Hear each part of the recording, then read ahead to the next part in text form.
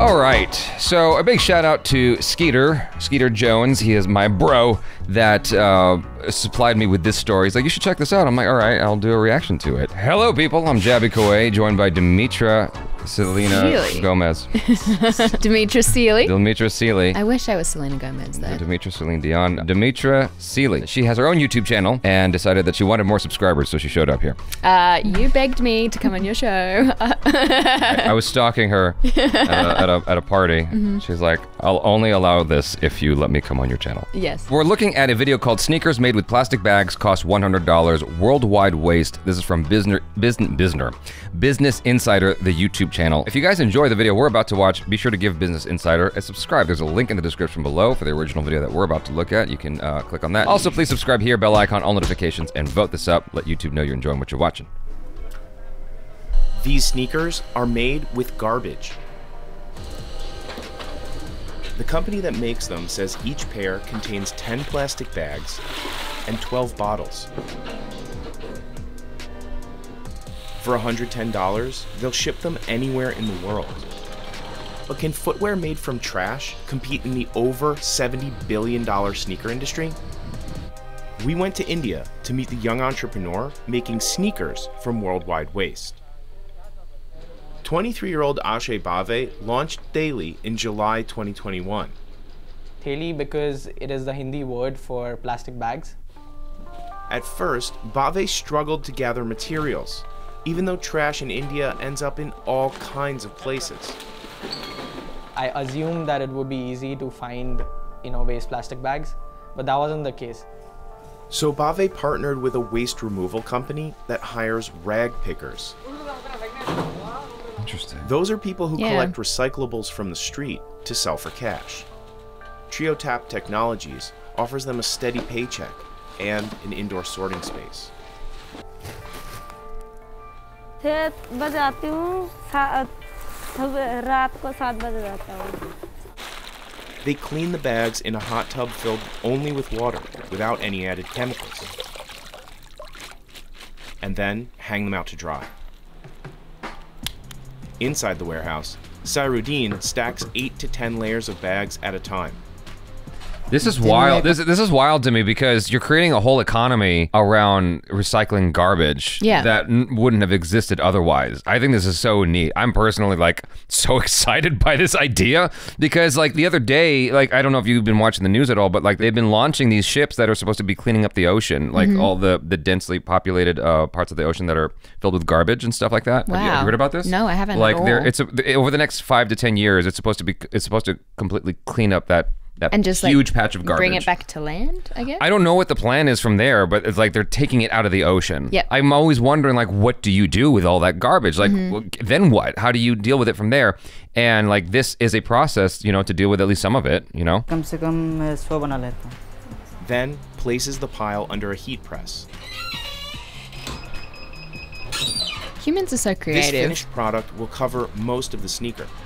The company's founder calls it ThaelyTex. So it's a material that's made entirely out of waste plastic bags without the use of any chemicals. Cyrudine packs and ships them seven hours north to the Nitush footwear factory. That's where the shoe will be assembled. This is First, crazy. ThaelyTex Yeah. sheets are die cut using metal forms. Other patterns are cut from RPET fabric, which is made from recycled bottles, and woven into something like canvas. Wow. The workers stitch the two types of materials together. The assembled upper gets stretched out. Thaely soles are made with crumbs of industrial rubber. A worker needs to rough the sole on this grinder, so the glue added in the next step will adhere. They coat the top of the sole with a clear glue. A special UV light increases its stickiness. The shoes go through a series of heat treatments and coats to strengthen the bond between the sole and the upper. Then comes the final round of stitching. Thaely's laces are also made with recycled plastic. Wow. This factory employs 170 people and makes shoes for three different companies. We wanted to make sure that we're still using existing sneaker manufacturing techniques. You know, we didn't want to reinvent the wheel. Smart. Nitouche turns out 15,000 pairs of shoes every week. And they try to recycle everything, even scraps.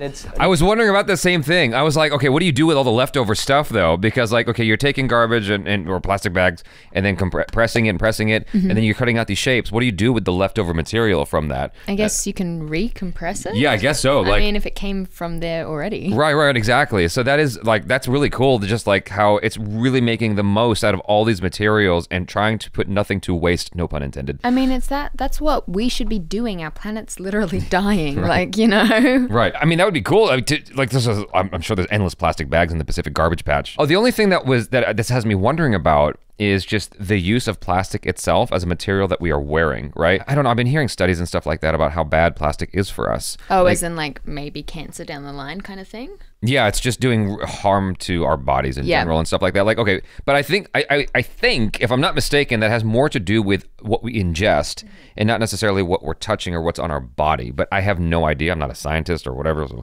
But like, I have been trying to be, I I have been trying to be more conscious of that, like using glass bottles to store water and not buying plastic water as much. You know, paper cups instead of plastic cups. All that mm-hmm. stuff. it's recycled and some of it is also reused to make more ThaelyTex sheets. The tote bag used as packaging is made from four plastic bottles. Wow. And the That's shoebox so made cool. from recycled I know, it's paper like has seeds material. in it. Customers can cut the box, plant it in soil, and grow a basil seedling. in What? So nice. The company sold 300 pairs of sneakers in its That's first month. That's crazy. It says the shoes are built to last. Well, they're plastic. It's extremely Yeah. durable. It lasts like any other sneaker for about two to three years, depending on how it is used. But can a small company like this compete with worldwide brands? I'm sure it's hard. Several have launched shoes from recycled plastic in recent years. Nike launched the Space Hippie, a shoe made with recycled materials in June 2020. See, but the thing about it is that looks like it's made from recycled materials. Yeah, I was thinking the same thing. I was like, yeah, go Nike, but shit's ugly. the thing that we've been looking at throughout the video actually looks like something very wearable. Like Yeah. it, it goes with multiple kinds of outfits, like whether you're a golfer or you're just walking about. I feel like the other shoes, I don't know anything about golf, so don't quote me on that. but like, I'm just saying the other shoes, they actually looked like something that can go with a variety of outfits. Mm-hmm. This looks like a very specific thing for a very specific purpose, and I could not possibly tell you what that is because Space. those shoes look whack as fuck to me. I wouldn't pay for that, but the other shoes I thought were actually pretty cool. yeah, I'm I'm on the same line as you. Personally, Yeah. not my style. but they probably cost like four hundred dollars. You know, you walk into Beverly Hills with that, people are like, oh, he's got style. yeah. Adidas makes a shoe that incorporates That's ocean not bad. plastic. Yeah, The company says it will produce 17 million pairs of them in 2021. Wow. That means it's likely that a global brand like Adidas sold more recycled sneakers in an hour than Thaely has sold since the company launched. Hmm. But Bhave is undeterred. And he says the business is already profitable. This is a project that Well, is then going what to does it matter? itself.